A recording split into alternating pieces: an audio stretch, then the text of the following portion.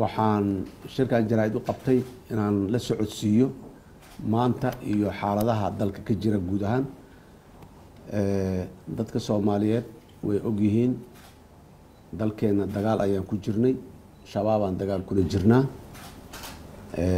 Niman dhulkeena inay dhinac goostaan rabo ayaa iyana dagaal diblomaasiyadeed aan kula jirnaa.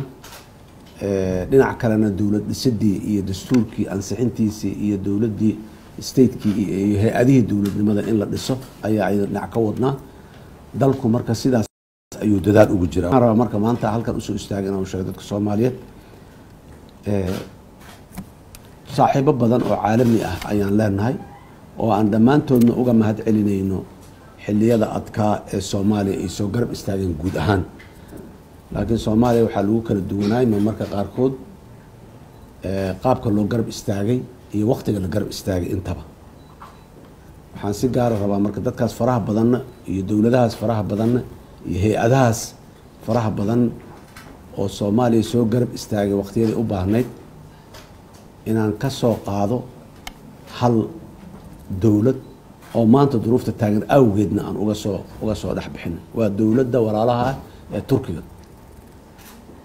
Turkida soomaaliya taariikh fog oo qarniyaal ahna waa nagala dhexaysaa oo ilaa qarnigii afariyo tobanaad iyo wixii ka dambeeyey iyo wax lamida iyo ah waxaa kaloo nagala dhexeeya turkida taariikh dhow oo ay nagu garab istaageen duruufaheena gaarka.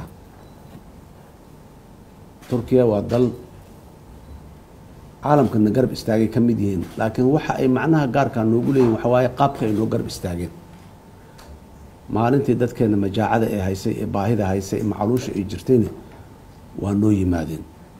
Madaxweynaha hadda dalka turkiya ka tago ra'iisul wasaare ah iyo caa-iladiisii iyo golihiisi wasiirada iyo maxaa noo imaadeen iyo iyo baarlamaankiisi iyo xukuumaddiisi o dhan ayaa soomaaliya yimid. Ayadoo waagaa soomaaliya meelaan la aadin oon la tegin ay tahay gabdhaha ajnabiga ah ee soomaalida aan ahayn ee hay'adaha samafalka u shaqeeya looma ogoleyn magaalada muqdisho inay yimaadaan. Markii uu muxuu ahay president erdogan oo markaas ra'iisul wasaare ah iyo familigiisa ay yimaadeen oo xeryihii barakacyaasha inta tageen caruurtii soomaaliyeed ay kor u soo xambaareen ay soo qaadeen oo kuwa jidka dhinaciisa ku ku cayaaraya intaa u degto madaxweynuhu ag fadhiisto dhahay xaalkooda ka warsaday oo wixii ay baahidii iyo dhibaatooyinka ay sheegeen in badan oo ka mid uu ka jawaabay waxay ahayd dowladda keliya ee mucaawanada dadka soomaaliyed ay siinaysay dowladda soomaaliyeed u dhiibeysay oo dheysay dadkiina adig kaa taqaanaan. Meesha baahida ka jirta adig kaa taqaanaan waa tanaa qabta waa dalka keliya ee maraakiib isdaba socoto labaatan kun labaatan kun labaatan kun oo tana isdaba socoto mar walba u dhiibaayay dowladda soomaaliya. Wasaaradda arrimaha gudaha inta u dhiiba dhaha u qaybiya dadka adig kaa garanaysaan sida loogu qaybiya sida siday u kala duruufo badan yihiin. Waa dalka markii kaalmo aan weydiisanay iyo budget support budget supportiga ugu horeeyey dadka ugu horeeyey oo bangigeena iyo systemkeena dowladnimada lacag ku soo shubay ahayn oo yiraahdo socda waxaysta aaminaada qaata. Bangigeena dhexe lacag geeyay ahayn lacag ku shuba. Waa dad maxaan ku irahda markii ammaan darro iyo argagixisada dagaalkeeda aan galnay oo caalamkao dhanna uu noo soo gurmaday ayagana noo soo gurmaday si gaara noogu soo gurmado xerye inta dalka gudihiis ka dhisay askarteena ku tababaray saraakiisheena qaaday. Maxaan ku irahdaye ciidankeeda inta gudaha ku tababaray? Haddana qalabeeyey qalab casri ah weliba siiyey ayadoo berigaas weliba cunaqabatayna saaran dalka qalab lama sii kala la dhahay. Saraakiisha dhalinta yar ee maanta ciidamadeena hogaaminaya ee saraakiisha dhexe ah iyo kuwa yaryarna dalkooda ayay ka yimaadeen intooda badan. Dalal kaleo walaala oo aanan saaxiiba oonan inkarin way jiraan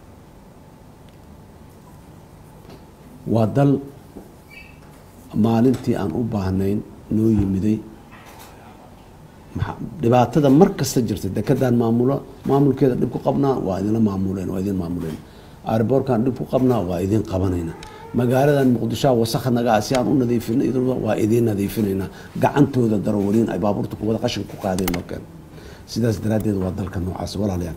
Maanta marka argagixisada gudaha nagula direen waxaad ogtihiin dhammaan dalkeenna bad aada iyo aada u weyn ayaan leenahay. Baddeenna muddo soddon sanaa ma ilaashanayn kalluunkeenna iyo khayraadkeenna waa la dhacayay. Wasaq waa lagu shubayay. Waxa sharci daraa oo dhan oo hub sharci daraa iyo balaayo sharci daraa oo dhan waa la marsiinaya caalamku markii wax ayaga xanuujinaya ay yimaadaan waana garab istaagayeen sida burcadbadeedkii oo kale intaasoo kun oo maraakiiba barada la soo diray burcadbadeedkay la dagaalameen waa joojiyeen. Wax fiicanay qabteen. Wax aad iyo aad u fiicanay qabteen. Laakiin burcadbadeedka markii lala dagaalamaya kalluunkeenana waa la guranayay. Caalamku maruna yihaaho xuduudihiina badda lama yaqaano. Waa xuduudihiina badda waa kuwaanaan dhahna waa la yaqaanaa waa u n kan ka soo register gareyn mar kale haddana uun lama waxayna. In baddeenna kalluunkeena la daldalanayo oo la dhacayo waan ogeyn in baddeenna muxuu ahay la wasakheeyo waa ogeyn. In baddeenna muxuu ahay hub sharci darra ay balaayo ay maraan oo dhan waa ogeyn. Waxaasoo dhan wax fiican ma ahayn. Laakiin cid naga kaalmayso oo si dhaba nooga kaalmaysa maanaan helin. Annaguna sidaa markaa waa dee kalluunkana waa noo soo curanayaa biru noo imaanaya ee arrimahan kalena maalin unbaa midba maalin baan joojin doona maanta xaaladdu waa isbedeshay dadaa yimide dhahayo baddiaan nus qaadanayna waaba qaadanaynaaba kenya annagaa isqabsana walaa dadka dariska saaxiibadan kenya. Waxaan isku haysana waxay ahayd kenya waxay lehay dhulkan biyahanan annagaa iskala helahay ee biyo soomaaliyeed waa soomaaliya iskale laakiin waa qaadanayna nama dhehayni xuduuddaan isku haysan maya intay martaa iyo maya intay martaan isku haysan. Maxkamadda caalamkaan isla tagna maxkamadda waana soo kala saartay. Maanta annaga iyo etoobiya waxaan taagan horta ma aha xuduud iskuma haysano boqolaal kilomitr oo dhul soomaalida inay soo marto badda soomaaliya timaado oo qeyb kamida qaadato waayo waxaan isku haysano waa u kaalmo weydiisanay. Waxaan kaalmada u weydiisanaynaa etoobiya in lala diriro ma aha. Dal kale in lagu duulo ma aha. Cid kale in la maxaanku irahdaye la dulmiyo ma aha. Danaheena dalkeena inaan difaacno ina lagu kaalmeeyo dowladda turkiya heshiiska aan la galnay horta intaasuu asalkiisa yahay oo maanta baarlamaanka soomaaliyeed uu soo ansixiyey na kaalmeeya baddeena sidaan u difaacano. Hadda maanta turki soo duushay oo etoobiya ku duulayso ma rabnana. Cid kale in lala diriro ma rabno. Soomaaliya gudaheeda in dowlado ajnabi ay wax isku diriraan ma rabno. Laakiin heshiiskani waa heshiis ka shaqeynayo dhaqaalaha. Baddeena kalluunkeenna iyo khayraadka badda inaan ilaashano ayuu turkiya nagu saaciday kalluunka iyo khayraadka badda inaan ilaashano. Wax kastoo sharci darro ah oo baddeena ka dhacayo oo caalamka efectigaraynaya hadday burcadbadeed tahay hub sharci darro ah oo la marsiinaya hadday tahay daraagis iyo balaaye hadday tahay argagixiso dhex maraysa hadday tahay dhammaan inay nala ilaaliyaan. Waayo waxaan heshiiska kula galnay. Inaan dal kaloo saddexaad aan ku duulno ama aan la dirino ma aha waan rajaynaynaa nimankan aan dariska nahay ee walaalaha reer etoobiya ahay inay kama dowladooda dadka reer etoobiyaanka colaad suma qabla darisaan nahay. Laakiin dowladooda inay ka waantoodo dhulkii soomaaliyaan qaar qaadanaya inay tiraaho oo caqliga uu shaqeeyo waa rajaynaynaa colaad ayna imaan. Laakiin heshiiska maanta baarlamaanka soomaaliya uu ansixiyey waa kaas. Waa heshiis difaac iyo horumarin dhaqaale oo isla socda waaye heshiiskaasi waa heshiis xayndaab heshiis waaye. Brotocollo badan iyo heshiisyo badana ka sii rakibmi doono oo ka sii tafaasiilimi doono laakiin heshiiskaasi aakhirkiis wuxuu dhalaa oo hadafka ugu dambeeyo toban sano kabacdi iyo waqti lamida uuna gaarsiinay waxay tahay ciidan bad oo biyaheena difaaci kara inaan yeelano inta ka horeysana walaalaha ay nala difaacaan badda oo burcadbadeedka iyo kaluumeysiga sharci darada iyo kuwa maxaa waxyaabaha illegal activitieska howlaha sharciga aan waafaqsanayn oo dhan inay nagala nagala ilaaliyaan. Waaye dadka soomaaliyeed dad dowladda turkiya waa dad aan aamini karno ku aamini karno howlaha qaarkood. Cid kaleo maanta hadda heelano oo oo annagaa shaqadaas idiin qaba lahayna maxaa dhacayna? Dhahaysana ma jirto. Ma jirto. Cid doon noo diyaar ma jirto. A ma jirto. Marka waan raadinayna muddooyinkan dhan dal aan si bilateraal ah oo gaargaar ah shaksi ah intaan ula heshiino naga saacida amuurahaas.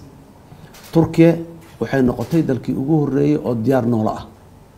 Dalal kale inaan heshiisya la galno oo aan arrimaha badda iyo xataa aan kala sii heshiinana heshiiskaan ma xadidaayo cid kasta oo danta soomaaliya ay ku jirto waa la heshiinaynaa heshiisaanaan la gelaynaa dowladda soomaaliya magaceeda kula gelin.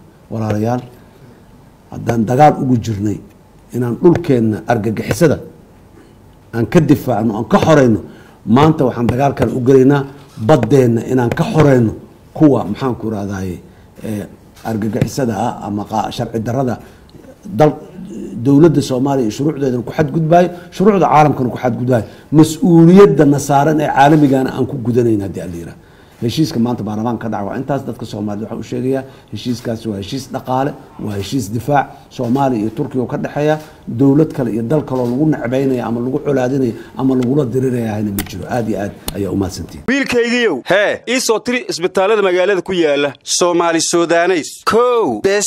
Allaahu akbar war meeqaa tabeelaan laamiyada ku arkaayay? Aabba matayaad rabtaa mise tabeelle? Tayo allay leh haba u labayn soomaali sudaneys. Somaali sudanes hosbital s s bremier wollet baahitiraha bulshada. Ku bixi biilka ku dukaamayso ku iibso ama kaga iibso. Bremier wollet adeega adeega